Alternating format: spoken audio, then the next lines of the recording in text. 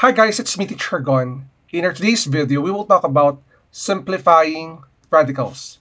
So without further ado, let's do this topic. So what we have here is the first example for this topic. And what we have here is x raised to the fifth power. There are multiple ways on how to simplify this, and let me show you the first way on how to simplify x to the fifth power. Remember, if we have square root of x raised to the fifth power, the index here or the number in the radical is 2. So first thing we can do, or the first step, is that we can break down this x to the fifth power as factors like this. We have the square root of x squared times x squared times x. As you can see, I break it down wherein these factors are all perfect squares. Because when we get the square root of x squared, the answer is x. There will be an x outside. And then, when we get the square root of x squared also, there will be an x outside. And here, since this one is not a perfect square, it will remain inside the radical sign. And you can simplify this x times x, that would be x squared times the square root of x. This is the answer for this item. Let, let me show you another way on how to do this because instead of doing it like x squared times x squared times x, we can also simplify this one like the factors of x to the fourth power times x. Wherein here the index is 2. Sir, what is the reason why x to the fourth power is a perfect square? Because we can divide this exponent using the index.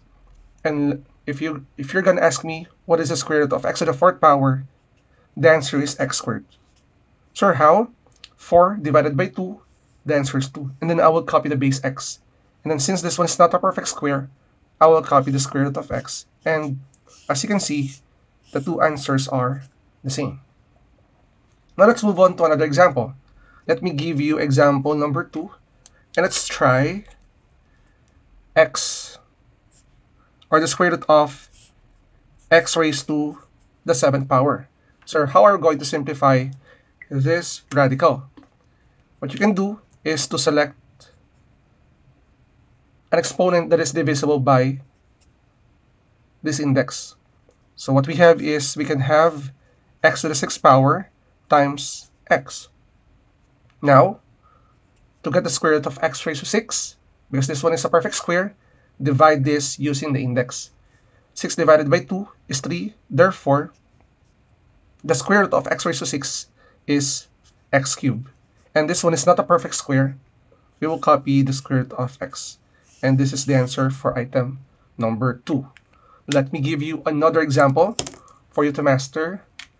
Number 3. For number 3, let's have this example. I will use two variables x raised to the ninth power and then y raised to the third power. Is it possible to extract the square root? Yes. Now, what do you think are the factors of x raised to the 9 that is divisible by 2? Very good. We can break it down as x raised to the 8th power because 8 is divisible by 2 and then the remaining one is x. So what about y raised to the third power? You can break this down as y squared times y. And then let's get the square root. Simply divide this. 8 divided by 2 is 4. Copy the x. You have x raised to the fourth power. And then as for the y variable, we have 2 divided by 2, which is 1. That is simply y. Then copy the remaining or the non-perfect square variable x and y. And this is the answer. So we can read this one as x raised to the fourth power y square root of x, y. And this is the answer, guys. Now let's move on with more examples. What we have here are examples with of variables with numbers. Don't worry because this one is not difficult if you're familiar with perfect square numbers. So let's start with example number 4. For example number 4, we have here 32 or the square root of 32 x raised to the 7th power. First thing we need to do is to figure out what are the factors of 32 in which one of the numbers must be perfect square and the other is not because 32 is not a perfect square. So to simplify this, we need to factor it out. So the factors of 32 are 16 times 2. And what about x raised to the 7th power? We will use our knowledge earlier in which this one can we break it down as x raised to 6 times x. So let us extract the square roots. The square root of 16 is equal to 4. So we are done with this. And this one, it will remain inside because this one is not a perfect square. What about this one? 6 divided by 2 is 3. Therefore, this is x cubed. So we are done with this one. And what will remain inside the radical sign are 2 and x. So this is our answer. Our answer is simply 4x cubed times or x, square root of 2x. So are you doing good guys? Now let's move on with item number 5. This is square root of 50, x raised to the 5th power, y cubed, z raised to the 4th power. Let me adjust the paper a little. Okay, so here we can factor it out like this. By the way, I will use this space. We can factor 50 as 25 times 2. This is a perfect square. And here, for the x to the fifth power, we can factor it out as x to the fourth power times x. As for the y variables, you have y squared times y.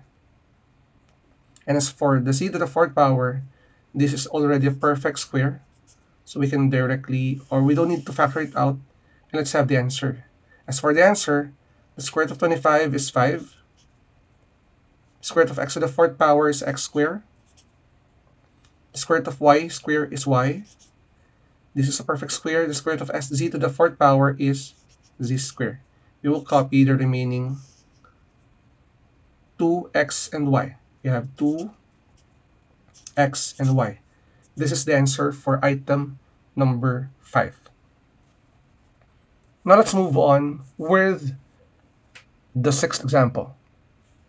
This is a cube root, but we'll still use our knowledge earlier. Since this one is a cube root, what we need to think are factors that are perfect cube. 16 is a perfect square, but it will not work because what we have right now is a cube root. So to simplify this, we can factor out 16 wherein the factors or one of the factors must be perfect cube and a non-perfect cube. And the factors are this. 8 times 2. 8 times 2 is still 16 and here 8 is the perfect cube.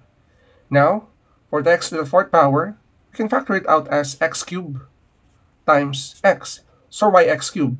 Remember, that the index here is 3 and this exponent is divisible by 3. Let's, let's simplify this. The cube root of 8 is 2. Let's put it outside. The cube root of x cubed, simply divide 3 divided by 3. That is 1, so that will be x na lang. And what remains inside is 2 and x. And let me put a cube root here. So the answer is 2x cube root of 2x. Now let's move on here. Let's adjust first the paper. So what we have now is this. The cube root of 54, x to the fifth power, y raised to the seventh power. Simplify or factor the radicands. 54 is not a perfect cube, but we can factor it out as 27 times 2 because this one is a perfect cube. And as for the x to the fifth power, what you need to do is to find an exponent of x that is divisible by 3. And definitely, that is x raised to the 3, or third power, times x squared, because 2 plus 3 plus 2 is 5. And as for the y variable, we have y raised to 6 times y. And now, we are ready to simplify this. The cube root of 27 is definitely 3. this one, the cube root of x cubed is x. The cube root of y square, y raised to 6 is y squared. So how? 6 divided by 3, that is 2. And then we will copy the remaining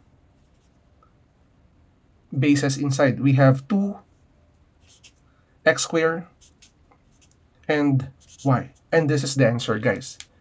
Now, guys, I hope you learned something from this video and let me give you let me give you an assignment wherein this is part of our routine. Every time na mag-end tayo ng ating session, your assignment will be this. The square root of square root of 18 x to the fifth power. What do you think is the answer, guys? So, guys, if you're new to my channel, don't forget to like and subscribe at i-hit mo na rin bell button for you to be updated sa ating latest uploads. Again, It's me, Teacher Gon. Maraming maraming salamat. Bye-bye!